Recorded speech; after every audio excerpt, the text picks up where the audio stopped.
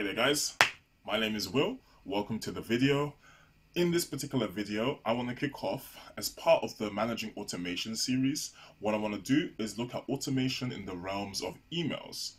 In my other video, I spoke about automation within the realms of Telegram, uh, and that that course, that particular part of the Managing Automation series is still carrying on.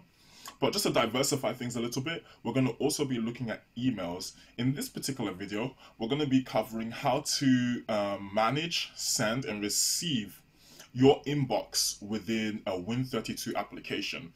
And this will serve as a foundation in our understanding in terms of how to actually automate email posts to mailing lists. So without much further ado, let's get started. Alright guys, so I'm back and so first things first, what you want to do is to add this particular namespace which is, and let me see if you can see it. Yeah, it's the Microsoft Office Interop Outlook namespace, which you can just add as a reference. Um, I think it's a .NET assembly, so you don't have to worry about going to the NuGet, NuGet package store for this one. And uh, I'm going to go ahead and fire up the application. Now, just as a heads up, the user interface is nothing amazing. I actually wrote this a number of years ago, quite a while it's been, and I'm revisiting the application because I think you may find value in um, kind of the concept behind this email client widget that I was working on back in the days. And um, so, yeah, anyway, that's enough of the history lesson. so, anyway, this is the user interface. It's very functional, but it's not very flashy. So, anyway, um, for obvious reasons, you're not going to see the credentials that I'm going to enter themselves. But once you enter the login and password, which obviously shouldn't be just out here in plain text, um, but just to give you an idea, I suppose I'm not changing it yet, just so you can see what's going on. You hit tools and login. Simple stuff. So I'm going to go ahead and do that. I don't have any resize options for the window here, like maximize and restore, because uh, I didn't design this um, user interface very responsively so I didn't want I wanted to limit the resize options. But anyway, enough of the UI. As you can see, I have a snippet of my inbox here has been imported from my Outlook. And uh, there's a few things I can go into here regarding the fact that the whole inbox isn't loaded. I think I put a limit because my inbox, I, I will admit, my inbox is really large.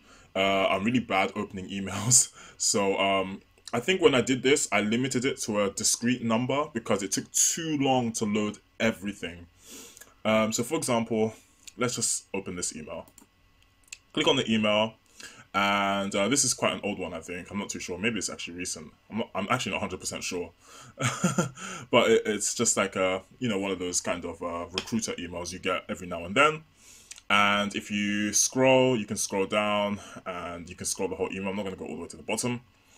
But as you can see, uh, the email inbox has loaded and uh, you basically have um, the power of the interop uh, with Outlook in order to you know do whatever you need to do with regards to Outlook emails in the Win32 environment um, in terms of development uh, for this particular application server we're doing. So let's have a look at how this is achieved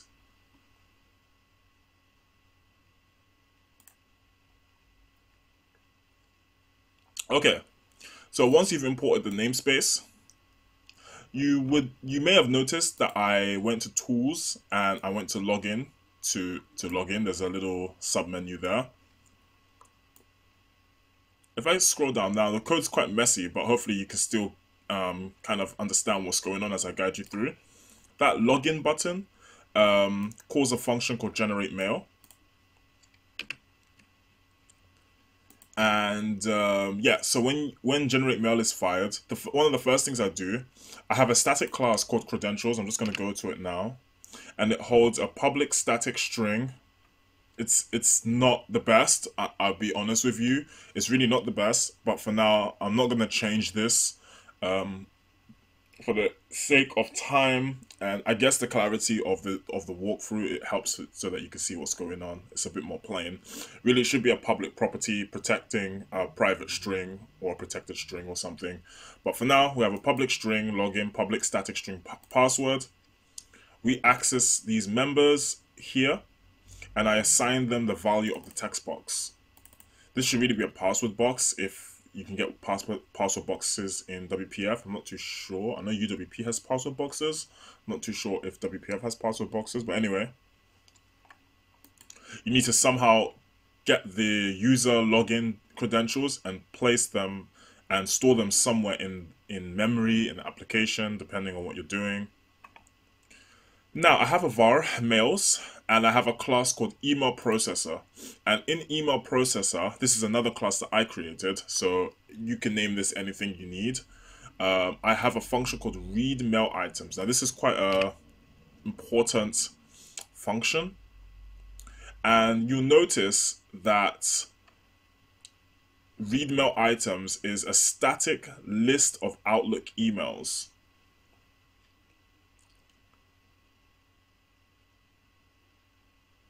And I'm just going to have a look at what Outlook emails is. Okay, so the way I structured this, it's a quite an involved process. So I will break down what I'm doing fairly steadily so that hopefully you can follow what's going on. So you want to then make sure you have a class that you create. I called it Outlook emails. And very simply, very simply um, stores inbound email as a string, email subject as a string, and email body as a string. These are properties. These are public properties. They really should be accessing private fields, but I probably got quite lazy, so these are just kept as public properties. And if I go back, so I am passing, or rather I'm defining this function as a list of Outlook emails. And this Outlook emails, um, just to refresh you again, it is a class which simply holds three types of strings, inbound email, email subject, and email body. So that's something to kind of remember. Now, you want to call Microsoft Office Interop Outlook application and you want to name this class, I call it Outlook application and I've set it to null. Now, MAPI folder, I think MAPI is a email protocol. I'm not 100% sure. Uh, you can do a little bit of research as to what some of these things are. But what you want to do, you want to call this MAPI folder class. Uh, I've called it inbox folder and I've set it to no. And I have another one, spam folder. I think I was just experimenting, but what you really want is just, you just need one for the inbox really. But I have one for the spam folder and that's assigned to no. The next, what you want to do is call Microsoft Office interop Outlook items. And then I've gone ahead and called this class mail items, an instance of the class, and I've assigned it to no. And then I have a list of Outlook emails so again, a list of Outlook emails, and it's called list email details. And this is a list in this within the scope of this function, and I've, I've instantiated it here. And then I have an object instance or an instance of the Outlook emails class called email details. So again, this is not the most optimized framework, but again, if you do follow this kind of structure, it will definitely give you an idea as to how to um, deal with this um, this topic of emails uh, within Win32. So I have a try here, a try block, and I have an Outlook application, which I believe I made up here, if you remember from before, just now. Outlook application is assigned a new Microsoft Office Interop Outlook application. And then I have an Outlook namespace, which, where did I create this? I'm going to double check that. Check that now. Okay, so I have a public, or should I say, a, a um, global private static namespace called Outlook namespace, and I've assigned it to null. So I have a few globals set in the email processor class, which is where we're in right now, and Outlook namespace is in a global scope. So you want to um, consider that.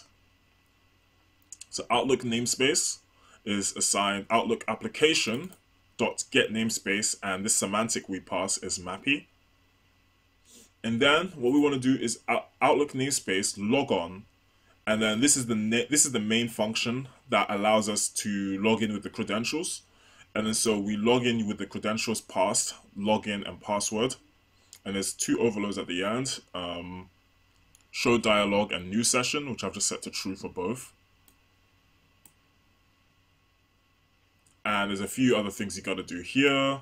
I won't go line by line for this, but as you can see, sync obj is a sync object. Uh, um, it's a sync object class instance, and you just set some of its members, as you can see here. I have a bool called syncing is assigned to true, which can be used as a flag to indicate whether your email has been synchronized or not. And failing this, messagebox.show is inbox synchronization failed. And then once that's all done, we have here Outlook namespace dot send and receive, and um, the show process dialog is set to true, and this allows for sending and receiving of emails. And then going towards the end of the function, retrieve specified folders. So inbox folder is being assigned an Outlook namespace. Remember, we made that before above uh, in global scope. Get default folder, and then we're specifying the inbox. And then um, similarly, spam folder is being assigned is being assigned Outlook namespace get default folder, and then we're passing as an overload the junk mail folder.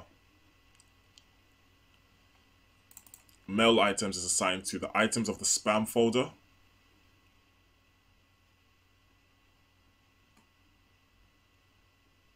And I was just thinking now, that's probably why I only had like 14 items. It's probably because I'm actually looking in the spam folder rather than looking in my main inbox.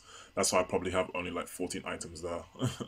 Because I'm just looking ahead at this code. So what I opted to do here was to, because I think what happened is I have so much in my main inbox, I just said, okay, I'm going to just load my spam box so what I did is I, I loaded my spam box into the mail items, email details, uh, which is a local variable. Let me see where it's defined. Up here, earlier, Outlook emails instance, email details, which if you remember, holds, I think it was a subject body. Let's have a quick look. Email subject, email body, and inbound email. So I guess that's the, I'm not too sure what that holds, but it's there I have to actually maybe double check that.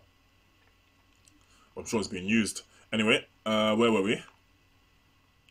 And I am looping through mail items, which is my spam folder, and um, via a for each loop.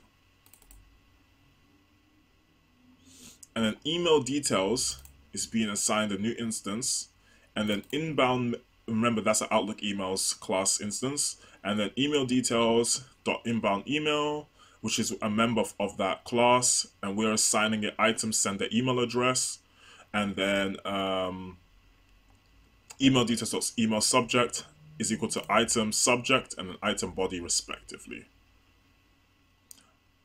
so here we're actually storing the information pertaining to the emails in the spam folder within this um, Outlook emails class so this is going to be holding. If I were to debug this uh, after running the program, you'd see that it would hold um, the, say, the email subject of a particular spam email item and respective for all the other members here. And then finally, you want to release com object. And then you pass as a parameter the Outlook application mail items, Outlook namespace, inbox folder, and item in this case. Let's just have a look at and inspect the overloads. It's really hard to read that. it's really hard and I can't really zoom in on the IntelliSense unfortunately. And finally here on the finally block, release com object, very similarly. Outlook application, mail items, Outlook namespace, inbox folder, and null and then I return list of email details.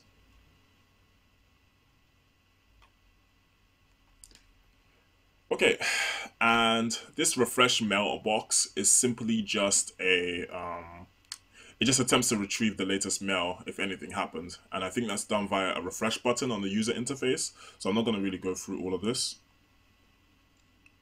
Release com object is quite, um, is, is necessary it's a little bit boilerplatey, so I'm not gonna really go through it, but it is necessary uh, for what we're doing.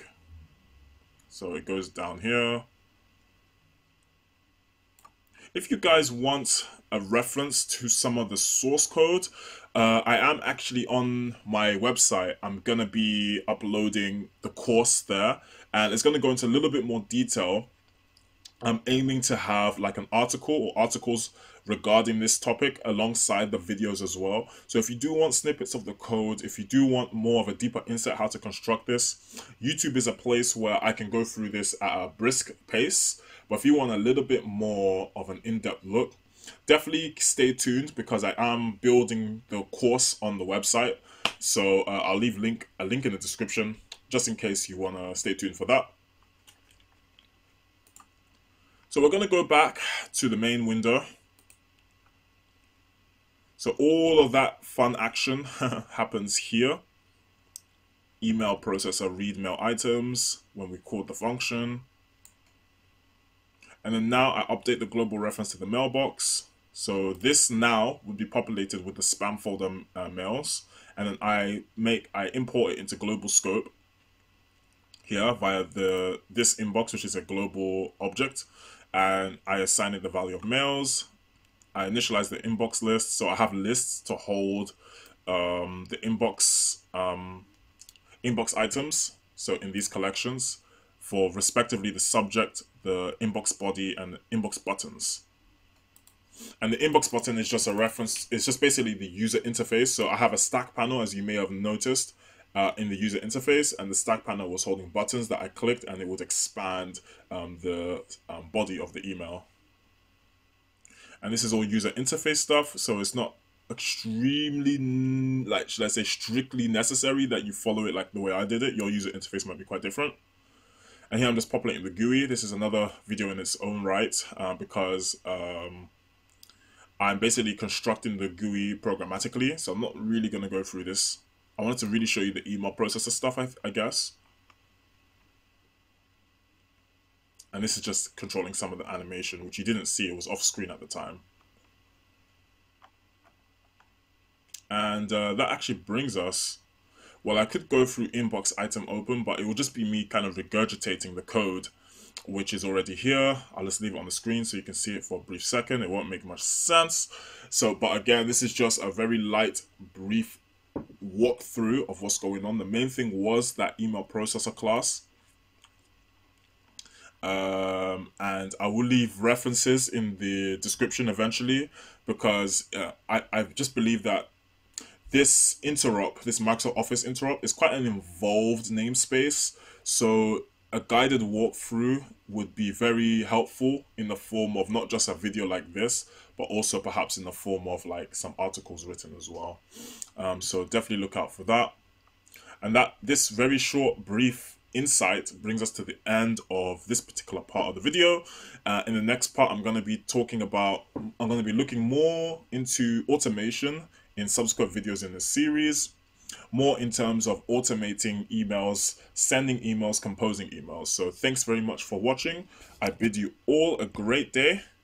Stay safe and have a great day. Bye-bye.